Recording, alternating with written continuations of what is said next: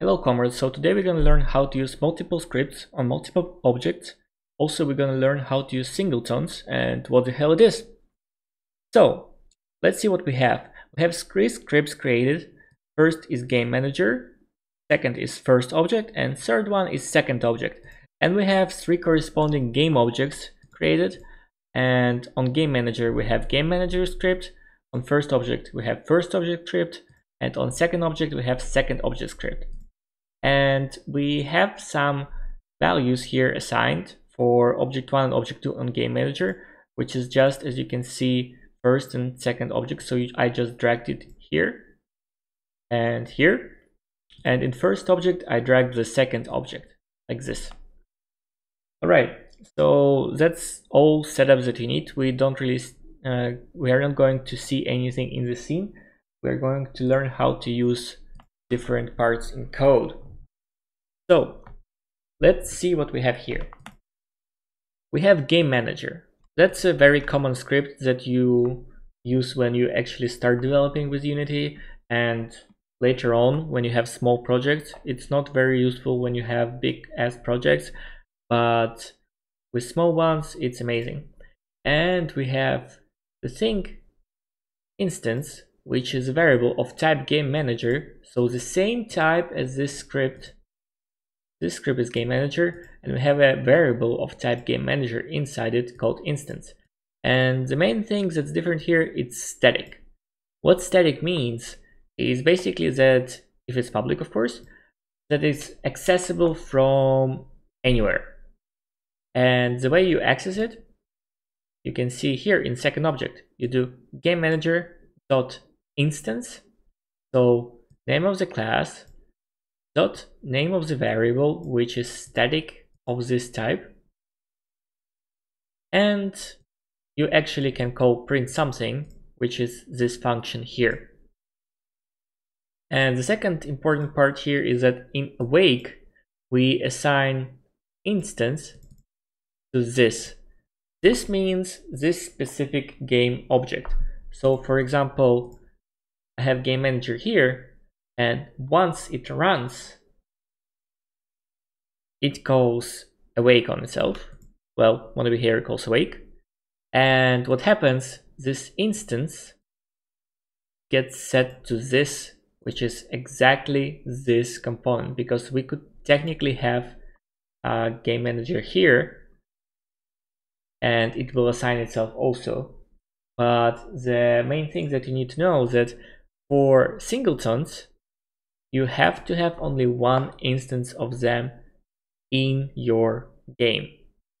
Otherwise, things get messy and confusing and they won't work.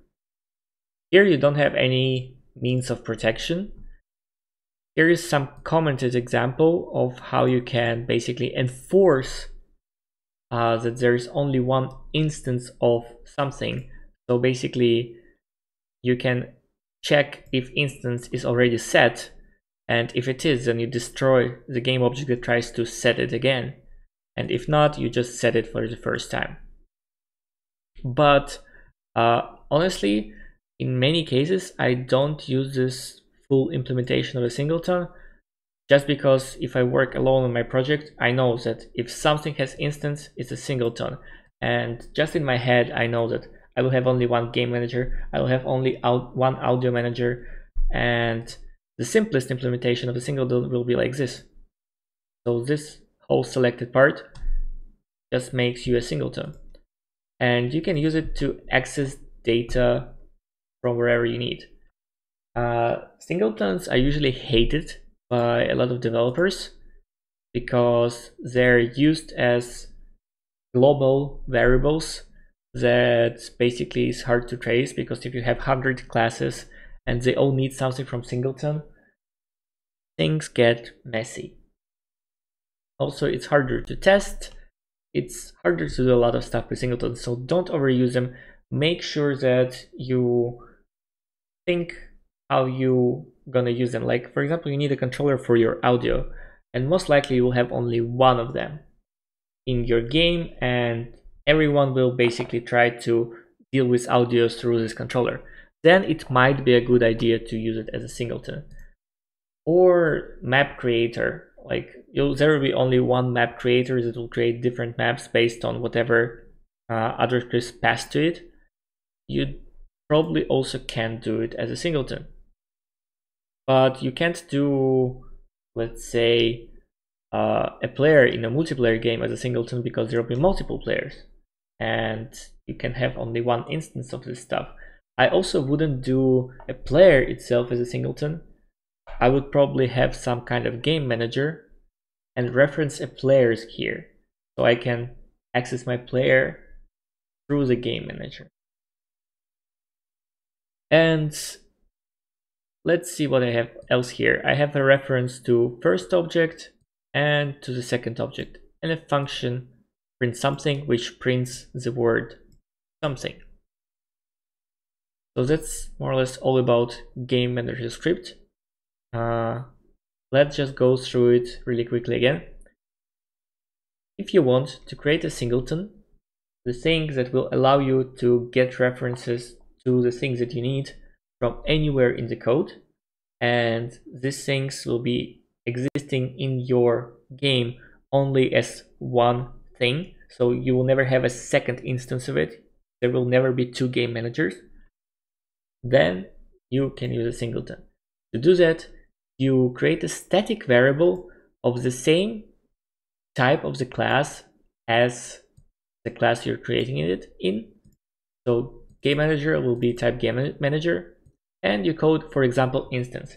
You can actually use any different, any name you want, but that's a standard to use instance or to use singleton as a name. And then in awake you have to set up this instance with this which will basically take this exact copy of the game manager and assign it to the static variable instance. All right. So the way we use different scripts will be shown now here in this first and second object. So what we have here is private variable second object inside the first object class. And what we do in start, we print the name of the second object from the first object. So we got a reference. We got this reference by dragging manually here, like this, the second object. So we have the reference to exactly this object. And we take this object and print its name. Also what we have here is print first object thingy. That's a function that will print first object thingy text. Why we need it? Just to demonstrate what you can do through the singletons. So remember in first object, we just use the direct reference that we had inside the object to second object and printed its name. You can do this stuff through the singleton. Remember, we have both of our objects referenced and also dragged in scene, so we manually did reference them like this. We have the boss in Game Manager, which is a singleton. And what we did here, we can access our singleton in our second object and print something. So from the second object, we just printed something. Then what we did next, we printed the name of the object one, which we got from the singleton. So we access Game Manager, we access its instance so we access, uh, access this. And then we access object 1 on it. This one, which is the first object. And then we took its name. And we printed the name of the first object.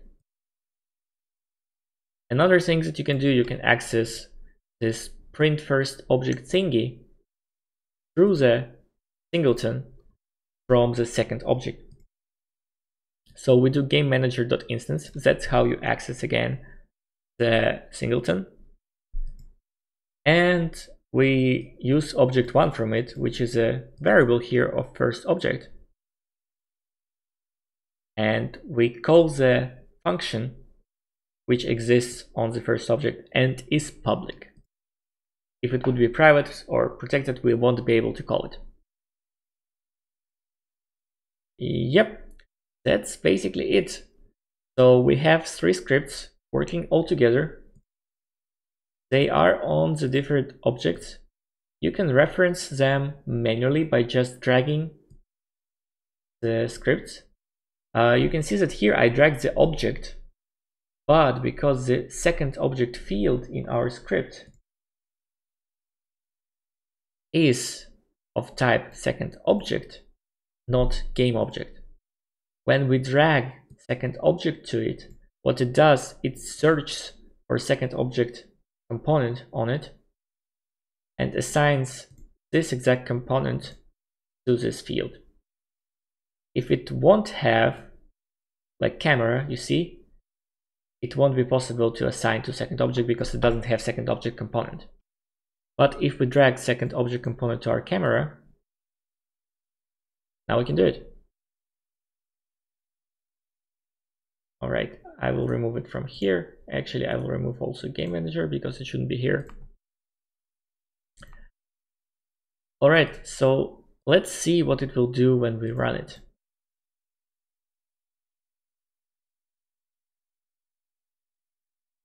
So it printed something, then first object, first object thingy, and then second object. So let's see. First it printed something. Then name of first object. Then the thingy. And then name of the second object. Alright. That's basically it. If you have any questions, just ask in comments. I will be glad to answer them. Uh, please subscribe to my channel. I will make more videos on different important topics. Remember that singletons are not liked by many developers, especially the ones from enterprise and business fields. Uh, they just think that it's pure evil. Uh, I don't think so. And I would recommend you not to argue with these people because it's usually pointless. Yep. Enjoy.